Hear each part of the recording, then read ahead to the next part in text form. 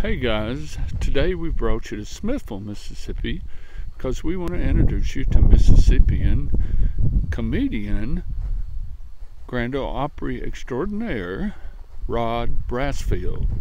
Come along with us. Let's go explore.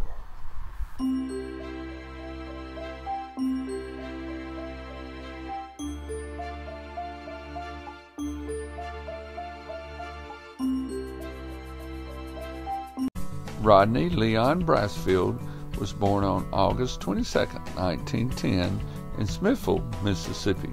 He began his career in the 1920s with the touring dramatic shows, serving as the straight man for his older brother, Boo Brasfield, who was an actor and comedian as well. George Hay recruited Rod for the Grand Ole Opry in 1944. Rod had a trademark look a baggy suit, a rubbery sort of face, and a messed up hat. Rod poked fun at country life, but he could make you laugh without even talking. In 1948, Rod formed a double act with the Grand Ole Opry's Minnie Pearl. She called this double comedy, where the two of them would deliver alternating punchlines and neither played the straight man. Rodney was a ventriloquist and his dummy's name was Bocephus. Hank Williams Sr. nicknamed his young son, Hank Jr., Bocephus, after Rodney's dummy. Rodney also worked with June Carter and Elvis Presley.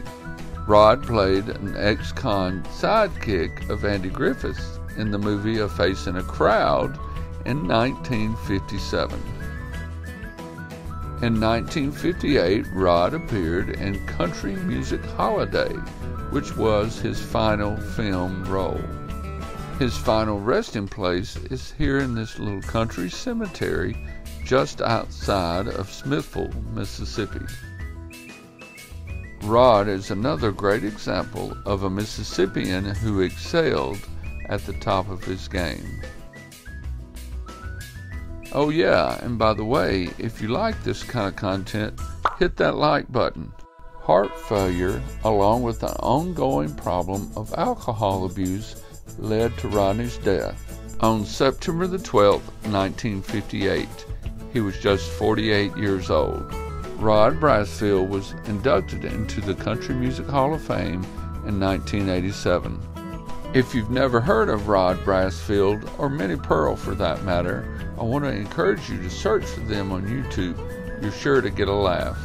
And as always, thank you.